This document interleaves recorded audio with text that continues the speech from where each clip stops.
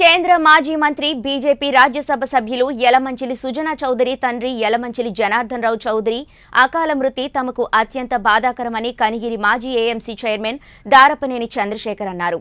తన రాజకీయ జీవితానికి వెన్నుదన్నుగా నిలిచిన సుజనా చౌదరి తండ్రి అకాల మరణం తనకు తమ కుటుంబ సభ్యులకు తీరని లోటు అని ఆవేదన వ్యక్తం చేశారు.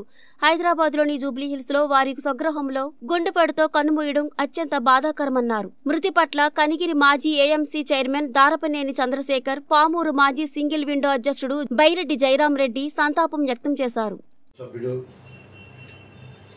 సుజనా చౌదరి గారు తండ్రి గారైన జనార్దన్ రావు గారు ఈరోజు రాత్రి జూబ్లీ హిల్స్లోని ఈ స్వగృహంలో చనిపోవటం చాలా బాధాకరం.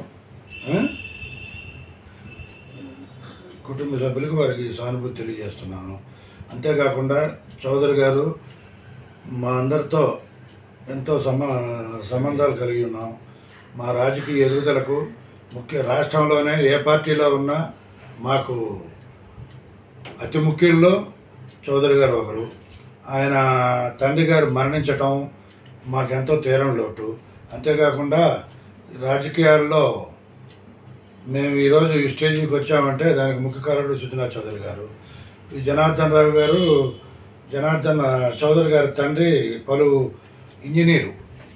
పలు పెద్ద పెద్ద ప్రాజెక్టు ప్రకాశం బ్యారేజీ ఇలాంటివన్నీ చౌదరి గారు ఉన్న తండ్రి గారైన జన కీర్తిశేషులు జనార్దన్ గారు ఆధ్వర్యంలో జరిగినాయి. అంతేకాకుండా ట్యాంక్ బండ్ హుస్సేన్ సాగర్లో ఆ రోజు బుద్ధుడి విగ్రహం పెట్టేటప్పుడు కూడా ఆనాడు తెలుగుదేశం ప్రభుత్వంలో జనార్దన్ రావు గారి పాత్ర ఎంతో ఉంది.